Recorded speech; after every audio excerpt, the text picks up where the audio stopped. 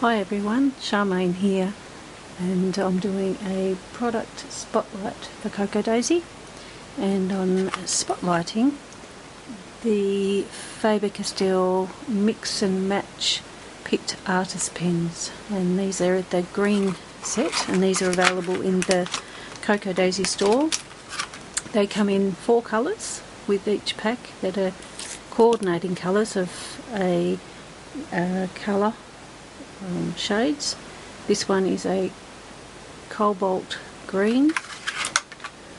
This one is a leaf green, a light green, and a green olive. And I just thought I would have a little play and show you some of the things that you can do with these pens. So I've got my plastic sheet and some shipping tags and I'm just simply going to rub the pen onto my plastic sheet, give it a quick spray with some water so that it pools and makes those lovely ink droplets and then I'm taking my tags and just simply running the tag through the pooled colours. then I will do the same with the light green. Just running it over the plastic sheet. Spray with water. And pulling the colour through now these um, these shipping tags have like a plastic coating on them, um, which makes them perfect for what they're used for, which is luggage tags. But um, it just means that the ink will sit on top rather than soak in. If you made your own shipping tags using craft paper or um, some other kind of cardstock, um, it would of course soak in a little bit. But if you leave that to dry, you will end up with something like this. So you'll get the lovely ink droplets and they're perfect for what I'm going to show you, which is getting rid of that. I'm going to use the tree stamp that um, is from Cocoa Daisy of course and I'm simply going to use the light green uh, pen and rub over part of the stamp and then some of the dark green over the other lines. One of the wonderful things about these pens is the fact that they have a pointed nib so you can get a very thin line or uh, use it on the side and get a lovely thick line which is great for inking up your stamps. So there the stamps all covered and I'm just going to simply stamp on a tree nice and firm to get the image that I want.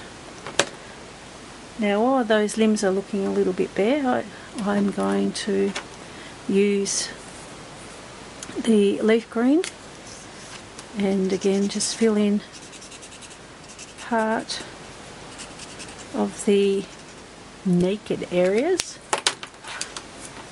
Give it a bit of colour. I'm using now the light green. Fill in just some, not all of them and then what I'm going to do is using my water again.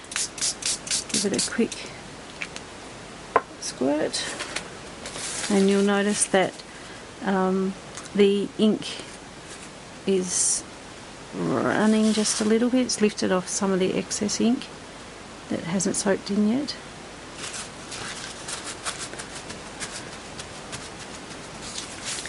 Then what I'm going to do is using the cobalt uh, green, I'm going to just go around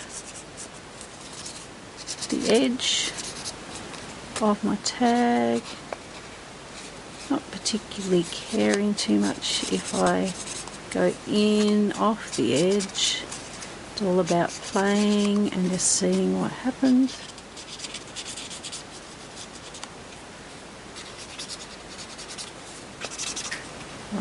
And then I will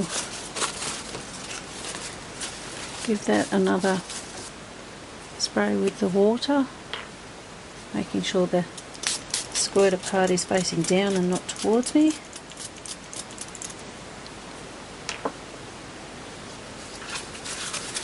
And using paper towel just soak back up the water.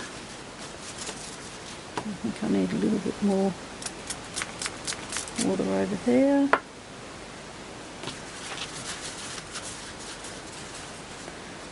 and because the ink um, has already uh, settled onto these parts of my shipping tag um, it's not going to lift back off as I spray on the water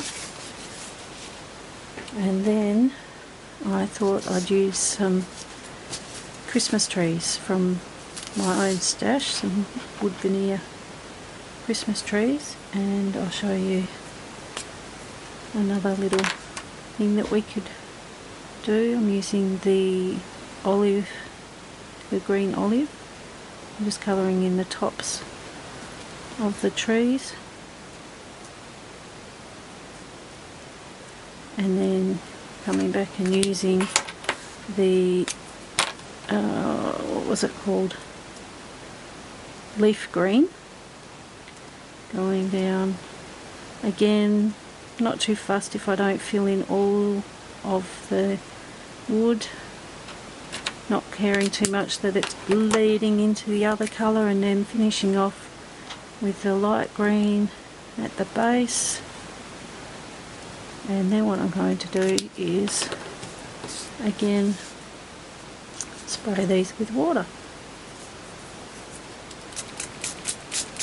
and you can see how the ink has pulled a little. Um, and the trees are now fully coated with the ink. Just dab off the excess, excess water.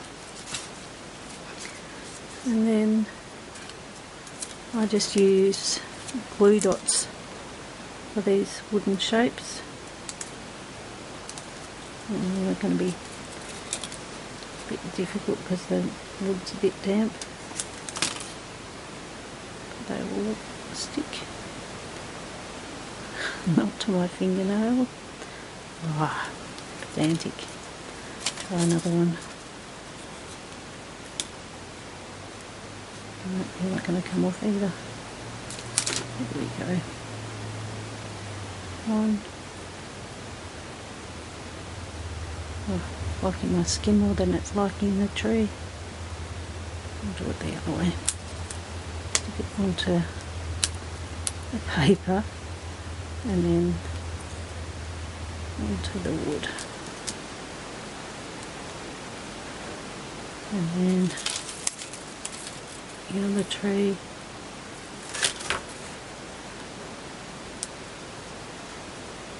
go about there.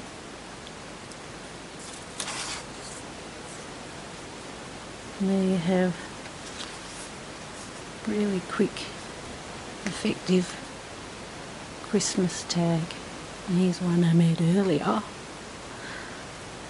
So you can see that it's very quick, very easy, and the uh, Pitt markers uh, make the job really easy and you know because the colours are all from the same um, colour group that they're going to match perfectly and just go so well with whatever project that you're doing. Okay, thanks for watching and have a nice day.